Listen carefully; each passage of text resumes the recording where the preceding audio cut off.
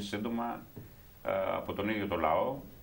Ε, δεν νομίζω ότι είναι θέμα των βουλευτών ε, που θα παίξουν κάποιο καθοριστικό ρόλο. Ήδη νομίζω ότι αρχίζει... Αναπόφευκτα θα παίξουν κάποιο ρόλο. Θα παίξουν βεβαίως, θα παίξουν.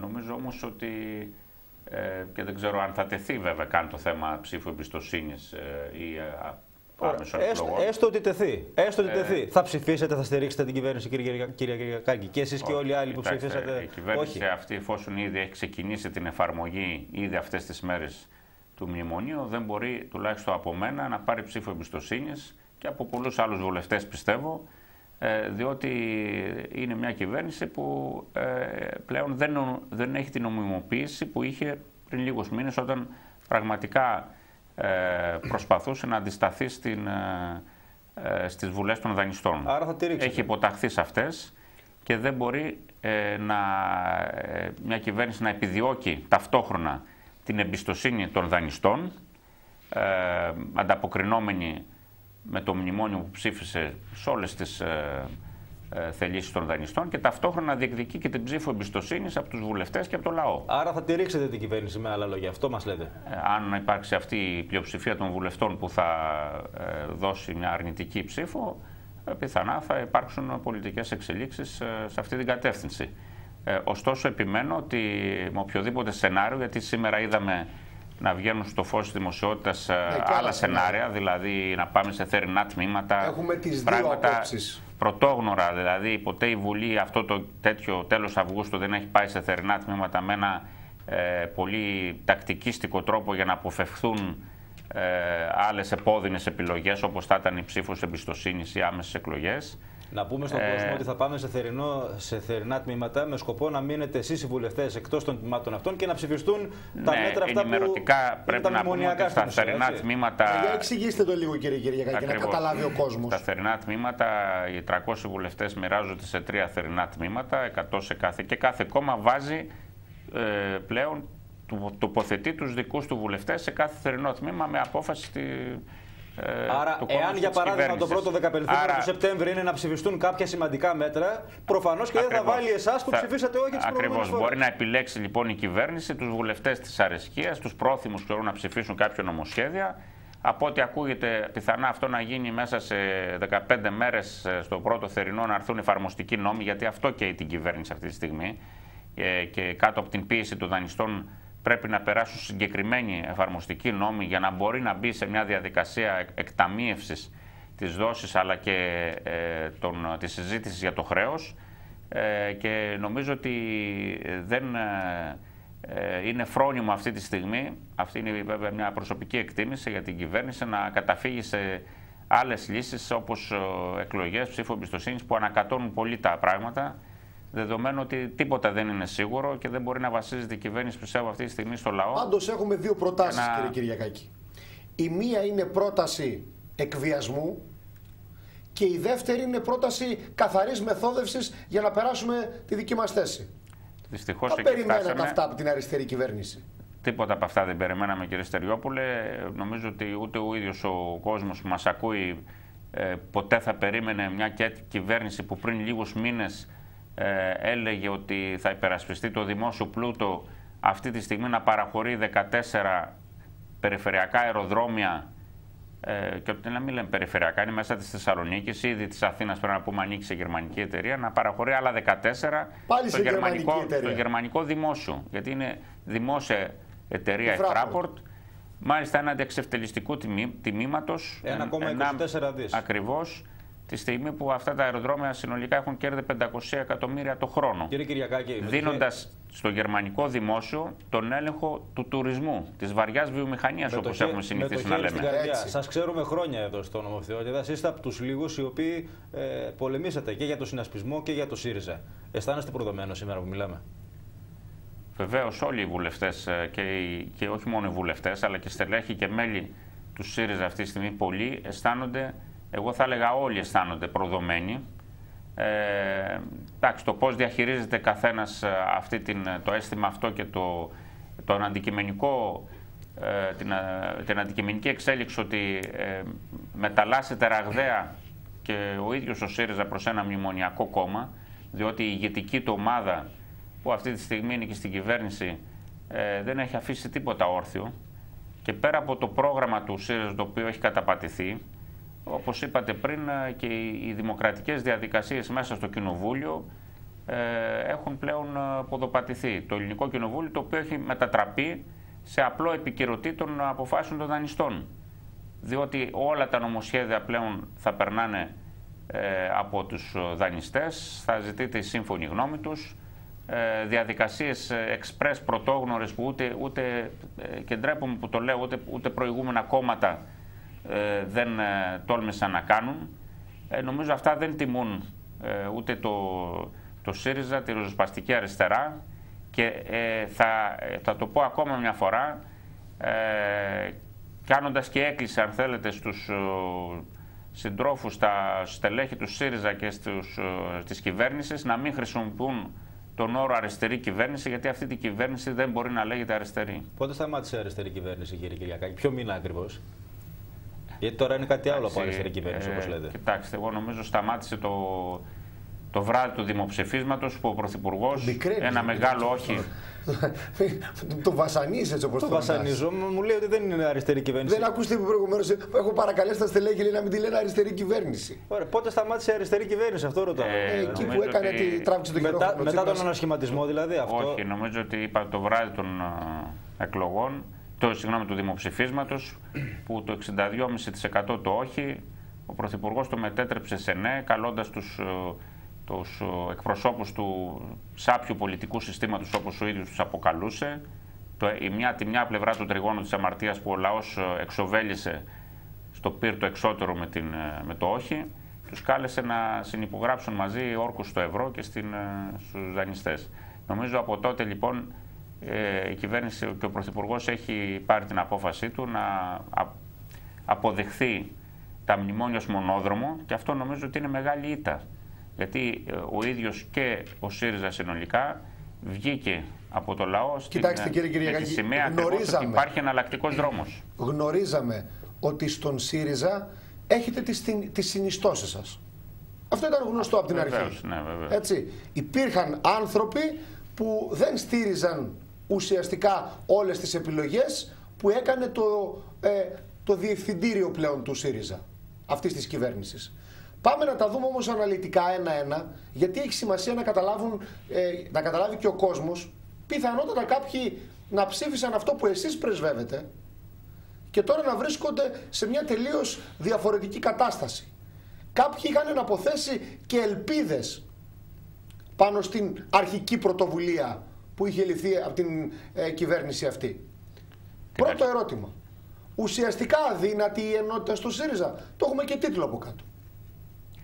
Ε, ναι, στη βάση του ότι ο ΣΥΡΙΖΑ σαν κόμμα θα επικυρώσει και στο συνέδριο στο ερχόμενο ενδεχομένως την, ε, ε, προγραμματικά πλέον την εφαρμογή, την υλοποίηση μνημονίων, ε, προφανώς δεν μπορεί να υπάρξει αυτή ε, η ενότητα που υπήρχε μέχρι σήμερα στο έδαφος των κοινών, όπως είπατε, στόχων που έχουν επικυρωθεί με το συνέδριο του 2013, που οδήγησε στη διάλυση των συνιστοσών και στην ε, πώς να πω, αυθόρμητη και ε, συσπήρωση κόσμου από όλα το πολιτικό φάσμα και από το ανεξάρτητα από τι ψήφιζε παλιά ε, ο Έλληνας πολίτης συντάχθηκε με αυτό το, το εγχείρημα. Πραγματικά ήταν ένα μοναδικό εγχείρημα.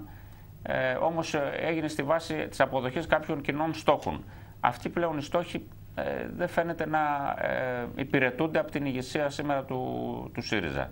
Οπότε νομίζω ότι ε, υπάρχει μια, θα έλεγα, ε, διαδικασία μετάλλαξης. Δεν είναι ακριβώς, ξέρετε, μια ε, διαφαινόμενη διάσπαση με την κλασική έννοια όπου μια ομάδα έχει αντίθετες απόψεις και το τραβάει στα άκρα. Θα το εξηγήσουμε ε, μετά πώς θα γίνει αυτό αναλυτικά. Τώρα θέλω να δούμε όμως τι είπε χθες ο κύριος Κότσιας, ο συνάδελφός σας βουλευτής από την Ευρυτανία, ο οποίος υπέγραψε με άλλους 17 μία επιστολή. Την ξέρετε. Ναι, δεν την υπογράψατε γιατί μόλις τώρα το εξηγήσατε ότι δεν βλέπετε και πολύ ενότητα σε όλα αυτά τα οποία θα συμβούν. Ας ακούσουμε όμως τι είπε ο κύριος Κότσιας χθες για αυτή την επιστολή ε, για ενότητα στο συνέδριο ο οποίος και αυτός το ξεκαθάρισε όμως. Ότι αν τα πράγματα φτάσουν εκεί που δεν θέλουμε εμείς να φτάσουν, δεν θα διστάσει να κάνει και αυτός το καθήκον του. Πάμε να ακούσουμε τι είπε ο κ. Ε.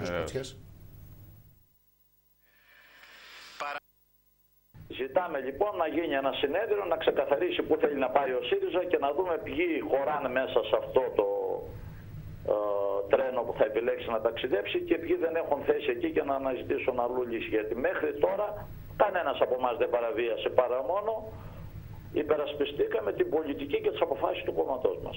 Το κείμενο αυτό δεν έχει στόχο για να ξανακαλοπιάσουμε όπως ε, αναφέρεται ή πενήσεται σαφώς την κυβέρνηση με χάσουμε τους στόχους στην λίστα των υποψηφιωτήτων ή τουλάχιστον εμένα αυτό δεν με αφορά. Λοιπόν, ποτέ μου δεν σκέφτηκα έτσι και δεν θα σκεφτώ τώρα. Η ενότητα του ΣΥΡΙΖΑ, η ενότητα της αριστεράς με αφορούσε πάντοτε. Στο σε ποια λίστα βουλευτική θα είμαι αυτό δεν με αφορούσε και έχω πει πολλές φορές σε εσάς ότι για μένα τα βουλευτική είναι μέσο να υπηρετήσει ένα σκοπό.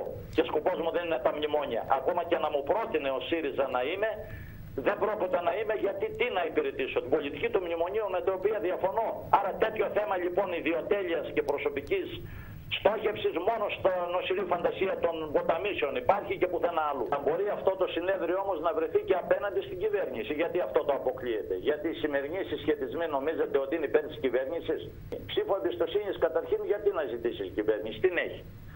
Λοιπόν, ποιος την αμφισβήτησε; Κανένας δεν κατέθεσε κάτι. Εάν η ίδια το επικαλείται για να πάει σε εκλογές, εκείνο που καταλαβαίνω εγώ είναι προσπαθεί να χρεώσει τις εκλογές σε εμάς που ψηφίσαμε όχι, να μας ρίξει στα σκυλιά την επόμενη μέρα ότι θυματοποιείται, πέφτει και φταίμε εμείς που πέφτει και δεν φταίει η πολιτική της. Αλλά φταίμε κάποιοι κακοί που δεν τη στηρίξαμε σε τι. Σε αυτά που ποτέ δεν είπαμε στον ελληνικό λαό. Άρα δεν καταλαβαίνω και να σας πω ότι εγώ δεν είμαι σίγουρος ότι θα πάει σε ψήφο εμπιστοσύνης γιατί ξέρετε μπορεί να επιχειρηθεί να πιέσει αυτούς που ψηφίσανε όχι, αλλά μπορεί και να πιεστεί. Υπάρχει περίπτωση δηλαδή να είστε απόν, από ό,τι κατάλαβα να, που είπε ο κύριος Κότσια, να πιεστείτε να είστε απόν από την ψηφοφορία της ψήφου εμπιστοσύνης με σκοπό να πάρει μια άτυπη πλειοψηφία η κυβέρνηση. Θα το κάνετε αυτό; Αυτό είναι ένα υποθετικό, υποθετικό σενάριο. Προσωπικά νομίζω ότι δεν θα το έκανα. Ε, γιατί σας είπα ότι είναι ξεκάθαρο ότι η κυβέρνηση υλοποιεί ένα βαρύ μνημόνιο. Ε, εγώ δεν βρίσκω λόγο ότι πρέπει να ε, δώσει κανείς εμπιστοσύνη. Εμπιστοσύνη σημαίνει, ξέρετε, καταρχήν να διευκρινίσουμε και να ενημερώσουμε και τους ελευθερωτές ότι στην συζήτηση για την ψήφο εμπιστοσύνης που διαρκεί τρεις μέρες, ουσιαστικά πρέπει η κυβέρνηση να παρουσιάσει, δηλαδή η εμπιστοσύνη είναι πάνω στις προγραμματικές δηλώσεις. Δηλαδή ζητάει πάλι την, ε, ουσιαστικά την ε, ε επανα, ε, επιβεβαίωση, επαναβεβαίωση των βουλευτών της, του σώματος πάνω στις προγραμματικές δηλώσεις. Κύριε δηλαδή αυτό καταλαβαίνουμε, το κόμμα, καταλαβαίνουμε λοιπόν ότι τι θα παρουσιάσει ο Πρωθυπουργός στη Βουλή για τη συζήτηση, τι προγραμματικές δηλώσεις θα παρουσιάσει. Υπάρχει περίπτωση το κόμμα, η βάση του κόμματος, οι νομαρχιακές επιτροπές να έχουν γυρίσει ανάποδα ε, να είναι απέναντι δηλαδή ουσιαστικά στην κυβέρνηση, αυτό που είπε ο κύριος Κότσιας. Λαμβάνετε τέτοιο κλίμα εσείς από τις νομαρχιακές, από τη δική μας νομαρχιακή εδώ; Όλα είναι πιθανά.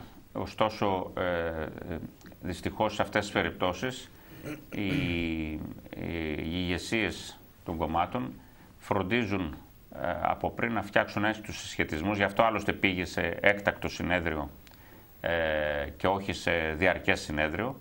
Το έκτακτο συνέδριο θυμίζω ότι απαιτεί πάλι η εκλογή νέων αντιπροσώπων, ενώ υπήρχαν οι προηγούμενοι αντιπρόσωποι και που σε ένα διαρκές συνέδριο θα συμμετείχαν οι ίδιοι. Προφανώς δεν βόλευε αυτό της, ε, την ηγεσία του κόμματος και του, της κυβέρνησης και προφανώς θα φτιάξει έτσι τους συσχετισμούς ώστε να έχει την πλειοψηφία στο συνέδριο. Γι αυτό και, Τελικά τα πολιτικά και... τερτύπια δεν τα αποφεύγουμε κύριε Κυριακάκη. Ε, αυτά νομίζω ότι είναι παλιά κόλπα. Και... Παλιά κόλπα από έναν νέο άνθρωπο όμως, ε. ε ναι, από έναν νέο άνθρωπο, στον οποίο βάσει τις ελπίδες του ελληνικός λαός. Εγώ σε αυτό που είπατε πριν αισθάνομαι ότι και το εισπράττω και στις κουβέντες με τον κόσμο στην περιοχή μου, ότι και ο ο κόσμος αισθάνεται προδομένος, οι ψηφοφόροι δηλαδή, όχι μόνο τα μέλη που είπα πριν και τα Άντε να το κάνουμε κόμματος. τότε το ερώτημα. Ε, ωστόσο, ωστόσο, επειδή με, ακριβώ. με ισχυρή αιχμή, κύριε Κυριακάκη. Τον πιστεύετε ακόμα τον Τζίπρα; Δεν έχει δώσει δείγματα ότι ε, μπορούμε να τον πιστέψουμε. Αυτό που είπατε, ότι δεν, ε, δεν μπορεί να δώσει κανείς εμπιστοσύνη.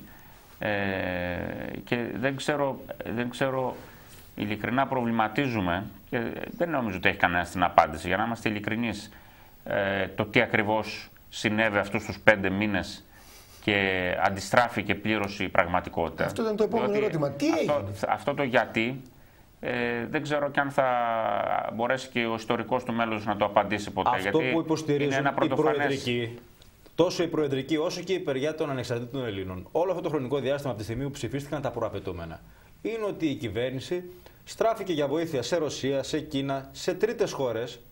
Και αυτό που συνάντησε ήταν Εννοείται το στη τίποτα. διάρκεια της διαπραγμάτευσης, Βεβαίως. ναι, ναι. Κατά τη διάρκεια των πέντε μηνών. Ε, πρα- πραγματοποιήθηκε κάτι τέτοιο, είστε γνώστης κάποιου γεγονότος; Εντάξει, αυτό ότι είχε, ο Πρωθυπουργός είχε κάνει επισκέψεις, το ξέρουμε, στη Ρωσία. ότι Υπήρχαν ε, επαφές και με την ε, Κίνα. Δεν γνωρίζω αν επίσημα είχε καταδειχθεί έτοιμα χρηματοδότησης, διότι ξέρουμε ότι έχει, το έχουν αρνηθεί από την ε, πλευρά του Άρα, της Ρωσίας αν και της ισχύουν Κίνας. όλα αυτά, Τι λέει ο Δημήτρης; Ο Δημήτρης λέει απλά για να καταλαβαίνουν και οι τηλεθεατές που μας ακούν. Ότι το εναλλακτικό σχέδιο, το πρόγραμμα της Θεσσαλονίκης, να το πούμε απλά, που εσείς ανακοινώσατε, προέκυψε στην πορεία ότι δεν είναι εφαρμόσιμο. Ε, Βέβαια. ναι. Και εδώ πρέπει να ρωτήσουμε όμως, για να είμαστε εντάξει και απέναντι στους τηλεθεατές, Βεβαίως. αν το είχατε μελετήσει πριν το ανακοινώσετε αυτό το σχέδιο. Εντάξει, Διότι αυτά- αν διαπιστώνετε στην πορεία ότι δεν είναι εφαρμόσιμο, δηλαδή κατεβαίνει σε έναν αγώνα με ένα αυτοκινητάκι, να το πω έτσι, που καταλαβαίνει στην πορεία ότι δεν το λέει η καρδιά του για να βγάλει την ανηφόρα. ε, Γιατί το πουλάς για Φεράρι στην αρχή; Και να το πάω και ένα βήμα παρακάτω και να δώσετε μια, συλλε- μια συνολική απάντηση. Ε, Εσείς που υποστηρίζετε τώρα ότι θέλετε να πάμε σε εθνικό νόμισμα και να διαλέξουμε έναν άλλο δρόμο, από τη στιγμή που δεν υπάρχει βοήθεια από πουθενά, πώς θα τα καταφέρουμε; Θα αρχίσω από αυτό το τελευταίο που είπατε κύριε Ζαχαρόπουλε. Καταρχήν, ε, ε, εγώ δεν θεωρώ ότι το, το νόμισμα είναι το κεντρικό που, ζήτημα που αφορά τη χώρα. Το νόμισμα είναι ένα μέσο για να ασκήσει πολιτική. Το ζήτημα είναι με οποιοδήποτε νόμισμα αυτό που ε, πρέπει να γίνει είναι να απαλλαχθεί η χώρα από τα δεσμά ενός ε, δυσβάσταχτου και παράνομου χρέους. Εάν δεν γίνει αυτό η χώρα δεν θα έχει μέλλον και ενός μη βιώσιμου χρέους. Προφανώς αυτά που λέγαμε δηλαδή πριν λίγους μήνες πρέπει να γίνει. Με ποιους όρους θα γίνει, με ποιο νόμισμα κτλ. κτλ αυτά προφανώς πρέπει να μπουν στο τραπέζι και ειλικρινά απέναντι στο λαό να υποθούν. Πράγμα το οποίο θεωρώ ότι δεν έγινε με την ειλικρίνεια που θα έπρεπε. Και έρχομαι τώρα στο στο ερώτημα που ετέθηκε από τον κύριο Στοριόπουλο για το ζήτημα του ε, κατά πόσο ε, μπορεί να γνώριζε κανείς ή όχι αν αυτό το πρόγραμμα ήταν εφαρμόσιμο. Εγώ ε, σας καταθέτω πραγματικά την, ε, τη σκέψη μου ότι ε, την εποχή που μιλάγαμε στον κόσμο ότι αυτό το πρόγραμμα είναι υλοποιήσιμο γιατί ε, είχαμε την πληροφορία, την ενημέρωση επίσημα από την ηγεσία, από τον ίδιο τον ε, Αλέξη Τσίπρα ότι αυτά τα 12 δις που απαιτούνταν για τη χρηματοδότησή του ε, είχαν, ε, ήταν ε, Μας διαθέσιμα. ενημερώνουν, μας Ναι, ναι. ενημερώνουν κύριε Κυριακάκη ότι καλούν οι πολίτες στο τηλεφωνικό κέντρο και θέτουν ερωτήματα. Ε, μία κοινή συνιστόσα των ερωτημάτων είναι τι αντιπροτείνετε Ναι, βέβαια. εσείς οι βουλευτές που δεν ψηφίσατε μνημονιακά σήμερα. Ναι, θα, θα έρθουμε σε αυτό βεβαίως. Λοιπόν, αυτό λοιπόν το γεγονός το, το ότι εγώ, όπως και άλλοι βουλευτές και στελέχη του ΣΥΡΙΖΑ και ε, υπουργοί που υπήρξαν, ε, πίστεψα και το μετέφερα στον κόσμο ότι αυτό ήταν υλοποιήσιμο. Τώρα, εάν είχαν συμφωνηθεί κάποια πράγματα σε επίπεδο ηγεσίας με τις ε, δανειστές και από εκεί και μετά άλλαξε η στάση των δανειστών απέναντι στη χρηματοδότηση, γιατί γνωρίζετε πολύ καλά αυτά τα 12 δις, ότι θα ήταν από το του Χουσού, ότι θα ήταν κάποια αυτά από Σωστά. το κέντρο κέρδη των τραπεζών, τα οποία αρνήθηκαν οι δανειστές να τα δώσουν στην πορεία. Τα οποία τα είχαμε και τα επιστρέψαμε. Ναι, ακριβώς. Αυτό έγινε μετά στην πορεία. Αυτά λοιπόν μπορεί να συνέβησαν. Δεν θεωρώ δηλαδή ότι, δεν θέλω να το πιστέψω ότι ο Αλέξο Τσίπρας και η ηγεσία του ΣΥΡΙΖΑ ε, ξεγέλασε συνειδητά τον κόσμο, τον εξαπάτησε. Και εμάς βέβαια τους βουλευτές. Δεν, δεν νομίζω ότι. Μισό λεπτάκι τώρα εδώ. Μισό, λεπτάκι, μισό, ότι... μισό λεπτάκι. Μισό λεπτάκι. Είναι κρίσιμο αυτό που λέτε τώρα. Δεν θέλετε να πιστέψετε ότι ο Τσίπρας και η ηγετική ομάδα συνειδητά εξαπάτησαν, συνειδητά το... εξαπάτησαν λέτε. Ναι, δεν νομίζω Ερώτημα τώρα εδώ. Ναι. Ερώτημα τώρα εδώ. Υπήρχε σχέδιο που να αποδεικνύει ότι όσα ισχυριζόμασταν πριν θα μπορούσαμε να τα έχουμε εφαρμόσιμα μετά. Ε, το γνωρίζετε; Δεν γνωρίζω την ε, ακριβή απάντηση, αλλά όμως ε, προφανώς, προφανώς υπήρξαν ε, κάποιες, ε, θα έλεγα, μια, μια εμπιστοσύνη όσον αφορά τις, ε, την, τις πηγές χρηματοδότησης. Θεωρώ ότι γύρω από αυτό και οι ίδιοι, και η ίδια ηγεσία μας ομολόγησε και ο ίδιος ο Πρωθυπουργός ότι ενδεχομένως ε, υπήρξαν κάποια, υπήρξε κάποια αυταπάτη, μια υπερβολική αν θέλετε εμπιστοσύνη ότι θα δοθούν αυτά τα χρήματα. Αυτό και μας ε, ελέγχθηκε στην, στις 20 Φλεβάρι που έγινε η ενδιάμεση τότε συμφωνία με την παράταση της Δανειακής Σύμβασης ότι ε, είχαν μια προφορική δέσμευση ότι θα πάρουν κάποια χρήματα. Αυτό δεν έγινε. Οι δανειστές παίξαν το ρόλο τους που νομίζω ότι ήταν αποφασισμένοι από πριν και πριν τις εκλογές να τον ε, να παίξουν αυτό το ρόλο, δηλαδή ε, το να, ε, μια, μια κυβέρνηση ριζοσπαστική να την απομονώσουν από το λαό, να την εκθέσουν και να τη στρέψουν απέναντι στο λαό, οδηγώντας σε αυτό που έγινε. Ε, και νομίζω ότι η κυβέρνηση είχε υποτιμήσει αυτή τη θέληση των δανειστών. Και δεν, δεν προετοιμάστηκε για το τελικό αποτέλεσμα. Τι θα μπορούσε να γίνει τώρα που βέβαια φυσικά είναι, φυσικά είναι ε, και το συναντάμε και στους κουβέντες και έξω με τον κόσμο ε, το μεγάλο ερώτημα και από εδώ και πέρα αν θέλετε είναι, είναι τι, τι μπορεί να γίνει και τι πρέπει να γίνει. Καταρχήν ε, αυτό που πρέπει να απαντήσουμε αν, αν αυτός ο δρόμος που επέλεξε η κυβέρνηση είναι μονόδρομος δηλαδή ότι η χώρα θα εξαρτάται για 50-100 χρόνια από δανεισμό και δεν έχει καμιά τύχη έξω από μνημόνια και από τη διαρκή επιτήρηση της Τρόικας ή της τετράμερ, πώς τη λένε, την τετρα, τετραμερή κτλ. Ε, ή αν θα είναι ε, υλοποιήσιμος σε ένας άλλος δρόμος. Εγώ θεωρώ ότι δεν μπορεί να είναι μονόδρομος η, η χώρα ως απικία χρέους. Θεωρώ ότι το κεντρικό ζήτημα, όπως είπα και πριν, είναι το ζήτημα ε, της διαγραφής χρέους, που η κυβέρνηση θα έπρεπε και μπορούσε να γίνει, να το βάλει πολύ ψηλά, και εδώ πρέπει να πούμε ότι είχε, είχε όπλα που δεν τα χρησιμοποίησε στην ε, κούρσα αυτή που είπε ο κ. Στεριόπουλος ε, του, αγώνα ε, ή αν θέλεις στο τραπέζι της διαπραγμάτευσης. Ένα όπλο, παράδειγμα, ένα εργαλείο ήταν η απόφαση ή συγγνώμη, το πόρισμα το προκαταρκτικό της Επιτροπής Αλήθειας για το Δημόσιο Χρέος το οποίο ε, έλεγε ξεκάθαρα αποδεικνύοντας με νούμερα ότι αυτό το χρέος είναι παράνομο, επαχθές και έχει δικαίωμα ο ελληνικός λαός με βάση το διεθνές δίκαιο να το διαγράψει. Δηλαδή, κάποια στιγμή σταματήσαμε να χρησιμοποιούμε όπλα που υπήρχαν; Βεβαίως, βεβαίως. Αυτό ήταν ξεκάθαρο. Κάποια στιγμή δεν χρησιμοποίησε η κυβέρνηση ούτε αυτό το ζήτημα, ούτε τις γερμανικές αποζημιώσεις που θυμάστε πολύ έντονα ο Πρωθυπουργός και στην πόλη μας, στο Γουργοπόταμο, στη Λαμία. Μα και το κάνουμε στο Ευρωπαϊκό Κοινοβούλιο. Και στο Ευρωπαϊκό Κοινοβούλιο. Και στην, ε, κατά την επίσκεψή του στη Γερμανία το κάνει. Ναι, αλλά ποτέ όμως δεν το βάλαμε ε, σε υψηλή θέση στο, στο τραπέζι της διαπραγμάτευσης. Να το βάλουμε όπως λέγαμε στον προπολογισμό, προπολογίζοντα τους ανέσου του κράτους για να πιέσουμε. Δηλαδή κάποια ζητήματα που θα μπορούσε να χρησιμοποιήσει η κυβέρνηση για πίεση. Άρα εσείς λέτε ότι επειδή έχουμε, έχεις σπάσει στην κυριολεξία το τηλεφωνικό κέντρο και μας ρωτάει ο κόσμος τι θα κάνετε εσείς. Δηλαδή εσείς λέτε ότι σε περίπτωση που αύριο μεθαύριο όλοι όσοι ψήφισατε όχι φτιάξετε ένα νέο πολιτικό σχηματισμό. Και διεκδικήσετε. Ας πούμε ότι λέγεται όπως το λένε σήμερα αριστερή, αριστερή πλατφόρμα. Και διεκδικείτε την ψήφο του ελληνικού λαού. Άρα ας λέτε, ας πούμε, μονομερή διαγραφή του ελληνικού πλατφόρμα είναι μια τάση του ΣΥΡΙΖΑ. Α το πούμε, κύριε Κυριακάκη, σα το λέμε όπως το λέει ο κόσμος στο τηλεφωνικό κέντρο να, το, να απαντήσετε έτσι να το καταλάβουν. Ωραία. Ε, Εσείς προτείνετε δηλαδή διαγραφή του χρέους, μονομερή διαγραφή του χρέους. Αν χρειαστεί και μονομερή, βέβαια, με βάση το διεθνές δίκαιο. Ε, απέτηση των γερμανικών ε, οφειλών, είτε αυτές είναι αποζημιώσεις είτε είναι το κατοχικό δάνειο. Βεβαίως, ναι. Με όποιο τρόπο και αν γίνεται αυτό, παρά τις όποιες δυσκολίες έχουμε συναντήσει όλα να τα πει, ναι. δεν θα μπορέσουμε να τα χρησιμοποιήσουμε θα... μετά. Θα λένε ότι τα λέγαμε εμείς. Ναι. Επίσης, το θέμα της παραγωγικής ανασυγκρότησης ξεχάστηκε, δηλαδή το ζήτημα του άλλου τύπου ανάπτυξη που θα ενισχυθεί η, η πρωτογενή παραγωγή κτλ.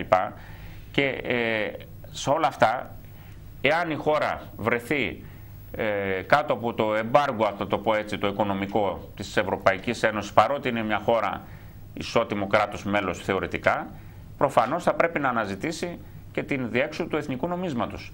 Και δεν θα πρέπει να φοβηθεί μια τέτοια λύση ε, μαζί με τον ελληνικό λαό να ε, την ακολουθήσει εφόσον θα υπάρξει μια προοπτική από αυτήν. Διότι ξέρετε ούτως ή άλλως όταν, ε, εντάξει αυτό είναι κοινό μυστικό και το κόσμος το έχει συνειδητοποιήσει και όταν είπε το μεγάλο όχι ήξερε ότι αυτό το όχι μπορεί να σημαίνει ε, ότι θα χρειαστεί να κάνει θυσίες. Άλλο πράγμα να κάνεις θυσίες για να δίνουμε, να ξεπουλάμε το δημόσιο πλούτο της χώρας στους Γερμανούς και στους δανειστές και να ε, περάσουν δύο γενιές ανθρώπων στο εξωτερικό να βρουν τις τύχες τους και η χώρα να είναι υπόδουλη και άλλο πράγμα θυσίες για να μπορεί να υπάρξει μια προοπτική σε αυτόν τον τόπο. Αυτό πρέπει να το πούμε λοιπόν και μαζί με τον λαό να φτιάξουμε ένα σχέδιο το οποίο θα είναι σε πλήρη διαφάνεια, δεν θα έχει κρυφά, κρυφές ατζέντες και από εκεί πέρα να το ακολουθήσουμε για, την, για το ζήτημα της απελευθέρωσης της χώρας. Μάλιστα. Αυτό είναι το διακύβευμα. Δεν μπορεί να είναι το διακύβευμα ούτε το νόμισμα, ούτε το μόνο το μνημόνιο. Το ζήτημα τίθεται για μένα σαν ζήτημα πλέον απελευθέρωσης της χώρας από, ε, από το δασμά του χρέους και να μην καταστεί απικία, ε, ιονία απικία χρέους όπως έλεγε και ο ίδιος ο Αλέξης Τσίπρας πριν λίγους μήνες. Κύριε Κυριακάκη, σας ευχαριστούμε πολύ. Και εγώ Καλό σας βράδυ. πάρα πολύ. Γιώργο, να σας ευχαριστήσω και εσένα θερμά. Καλό σου βράδυ. Καλό βράδυ. Αυτές ήταν οι σημαντικότερες ειδήσεις που απασχόλησαν την περιφέρεια Στεράς